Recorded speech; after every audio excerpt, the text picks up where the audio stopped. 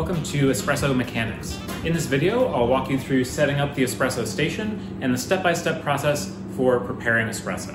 In order to start preparing espresso, we're gonna need a few things. First, we're gonna need three clean towels. These towels are gonna be used for three very specific things, and so we wanna make sure we place them in such a way that we only use them for those three specific things. The first towel is gonna be used for cleaning our portafilter baskets. Because we're only using this towel for cleaning our portafilter baskets, I wanna place this near the knock box where we're going to knock out our spent espresso grounds. The second of our three towels is going to be used for cleaning the counter and drip tray. We're just using it to clean up after ourselves if there's any drips on the drip tray or on the counter. The third towel is going to be used for cleaning our steam wands when we steam milk. Now this towel needs to be used for only that purpose, it needs to be sanitary. This towel is going to stay on a saucer on top of our espresso machine. I like to keep this towel lightly damp and keep it folded in half and in half again this way I know that I have at least four layers of towel between the steam wand and my hand when I go to clean it. So I'm gonna keep it just lightly damp on top of the espresso machine. We're also gonna need shot glasses, two digital scales. One scale I'm going to use to measure the weight of the ground coffee. The other scale is going to be used to measure the weight of the espresso shot during the extraction process. We're also going to need a tamper with a flat base and a rubber tamp mat for our counter. Finally, if your espresso machine does not have a built-in timer, you're also going to need a separate timer to time your extraction. Of course, we're also going to need coffee in our grinder. I would recommend filling the hopper with as much as it will hold from the same roast date. You don't want to mix two different roast dates in the same hopper. And then run one cycle on the grinder to get fresh beans in the grinding chamber.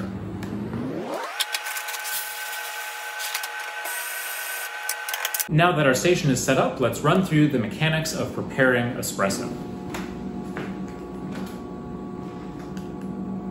There are 12 steps to our espresso preparation process. We're gonna run through them one by one and then put it all together. The first step is making sure you have the right vessel ready to go. Let's say I'm making a latte, I'll select a preheated cup from the top of my espresso machine if I'm making it to stay, or if I'm making it to go, I make sure I have the right cup ready. The second step is to remove the portafilter from the group head and flush the group head with clean water for one to two seconds. This removes any loose grounds that are stuck on the dispersion screen and it pulls fresh water into the group head mechanism. Our next step is going to be filling the portafilter basket with freshly ground coffee. There's actually several steps to this part of the process. The first thing that I want to do is clean my portafilter basket using my dedicated portafilter towel.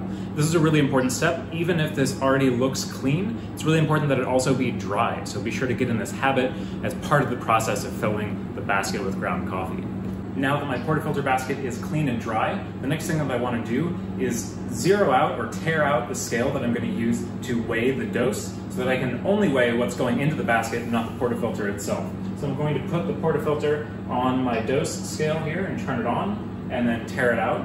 And that way it will zero out for the weight of this portafilter. And it's really important that you tare out the scale for each portafilter that you're using because they don't weigh the exact same amount. Next I'm going to activate the grinder by just pushing the portafilter against the activation switch. And it will run for the preset amount of time that I've selected. At this point, I'm going to check my dose by putting the portafilter with the ground coffee back on the scale before doing anything else. I'm going to adjust my dose so that it's within 0.2 grams of my target dose, which we'll talk about in the dial-in process. Now that we have our dose measured out to our target, the next thing that we need to do is distribute the ground coffee in the basket. This is a really important step that involves trying to spread out the ground so that you have an even density of ground coffee throughout the basket. There's a few different techniques for doing this. Sometimes people use dedicated tools to distribute the coffee. Sometimes people use a swiping technique that involves swiping your index finger across the surface of the basket. The technique that I recommend is one that involves no contact with the ground coffee, and it's just tapping the side of the portafilter to level out the mound of grounds so that it's nice and flat, and we can go and tamp the coffee with it already being evenly dense throughout the basket. So the technique is to just gently tap the side of the basket, keeping in mind that this is going to be hot, and you should see the grounds level out as you're tapping. If you notice the ground's sloping to one side or another, you can gently angle the basket so that gravity does the work of moving the grounds from the high side to the low side in your basket. Another technique that you can use to help you distribute the ground coffee in the basket is to tap it on this platform of the grinder when you're done grinding or on your tamp mat before you go to tamp. I would recommend just experimenting with a combination of these tapping techniques to develop a habit so that you can do this process very consistently and very quickly. It should only take a couple of seconds to distribute the grounds in the basket. The next step in our espresso making process is to compress this now evenly distributed bed of grounds using our tamper. Now for this part of the process, it's really important that we develop a technique that allows us to compress the grounds evenly or levelly, but also to do it consistently and ergonomically. This is a part of the process that really impacts the extraction, and it also can cause some wear and tear on the barista's arm, wrist, and shoulder and back if they're not careful about the technique that they use to compress the grounds. So for tamping, it's really important for us to pay attention to form. I'm going to demonstrate the form that I recommend using my right hand, which is my dominant hand. That's the hand that most baristas tend to use in tamping, but you can use whichever is more comfortable for you. So the form that I recommend is something like this. Hold out your tamper with your thumb on top as though you were holding out a flashlight maybe, and then turn your wrist 90 degrees so that your thumb is facing, for me, to the left. If you're using your left hand, your thumb would face to the right. And then you're going to form a right angle with your elbow and bring your forearm down so that it's perpendicular to the counter. It's really important that we try to compress the grounds evenly and part of this process is making sure that we are applying force in a way that's perpendicular to the surface of the grounds that we're compressing. So with my tamping arm at a right angle and perpendicular to the surface of the counter, I'm going to stand perpendicular to the counter that I'm using and use my non-dominant hand to stabilize the portafilter flat against the tamping mat. I'm going to take advantage of the fact that the bottom of my portafilter is flat, so it sits nice and stable on the counter. If you're using a spouted portafilter, it's really important when you go to tamp your grounds that you position the portafilter on the counter using the edge of the portafilter and not the spouts, which can be easily damaged. And I'm essentially going to form a box with my left arm holding the portafilter, my right arm perpendicular to the surface of the counter, and I use my thumb and index finger to judge how level the base of the tamper is in the portafilter relative to the rim of the basket. Once it feels like it is level, I will apply a little bit of force to compress the grounds.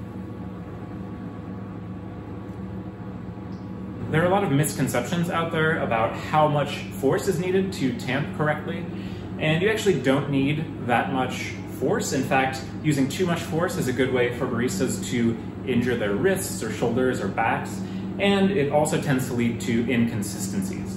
So notice that when I tamp, I'm not putting a lot of body weight into it, I'm not rolling my shoulder into it or bending my back into it, I'm just pushing down with my arm perpendicular to the counter. When you're done tamping, you can check how level it is just by looking at the surface of the grounds relative to this ring on the inside of the basket. There are a few common techniques that you may have seen that you definitely want to avoid when tamping, things that we would not recommend doing. One of them is tapping the side of the portafilter with your tamper, like that.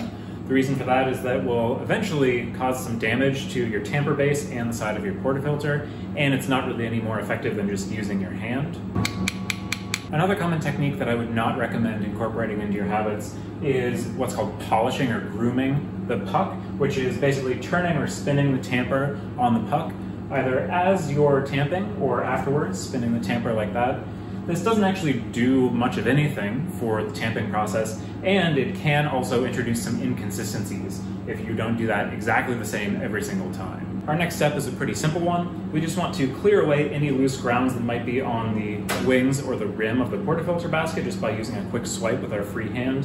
This helps prevent loose grounds from building up on the gasket inside the group head, which will cause problems with forming a seal with the portafilter. Our next step is to lock the portafilter into the group head, and it's really important during this process that you're careful not to accidentally hit the portafilter against the drip tray or the group head. Doing that can cause cracks to form in the bed of compressed grounds, which will cause water to flow through those cracks during the extraction process. Our next step is to activate the group head as soon as possible after locking the portafilter in place. You usually have a few seconds before anything comes out of the portafilter, so I use that time to position a shot glass and scale below the portafilter. During the extraction process, I will observe things like flow rate, which is something we'll talk more about during the dial-in process, and I will be sure to keep an eye on my yield scale or my shot scale so that I know when to stop the extraction process. In this case, I'm using a machine that has auto volumetric, so it will stop for me. If you're using a manual machine, you will have to stop your shot when it reaches the desired yield. So you'd have to keep an eye on your scale and hit the button to turn the group head off when you're about one to two grams short of your target. Our next step in the process, assuming that we have produced a good shot of espresso, would be to use this shot in preparing whatever drink we have in mind. It's really important to pay attention to workflow at this stage in the process because you don't want to have shots sitting on your bar waiting to be used. It's a good idea to use them within 30 seconds or less of when your extraction finishes because they will kind of go stale as they sit. Once we finish making that drink, we're going to reset our bar so that it's clean and ready to make the next drink. So I'll do things, for instance, like rinsing my shot glass and the next step is to remove the portafilter and knock out spent grounds. While I'm doing this, I'll run a flush or purge cycle on the group head. And I'll hit my portafilter with its spent grounds directly on the bar of the knock box, knocking those spent grounds into a trash can.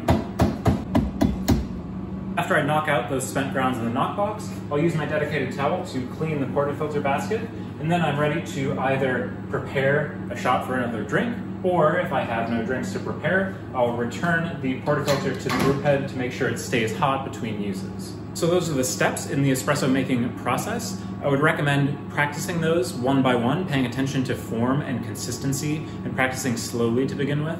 And as you build habits, you will build up speed, but it's really important to lay a solid foundation by paying attention to form and consistency to begin with. All right, now that we've gone through the steps in the espresso making process one by one, let's recap by just putting them all together in real time. I'm going to start by grabbing a vessel from the top of my bar. I'm going to remove the portafilter and flush the group head that I'm going to use. Then I'm going to clean my basket with my dedicated towel. I'm going to tare out this portafilter on my scale and grind coffee. Going to check the dose. It's within 0.2 grams of my target, so I'm going to go through my distribution step and then tamp the grounds firmly, sealing them in the basket. And I'm going to clean the rim of the basket, insert the portafilter into the group head and start the group head immediately. Then I'll position my shot glass and scale below the portafilter and I'll observe flow rate as it's extracted.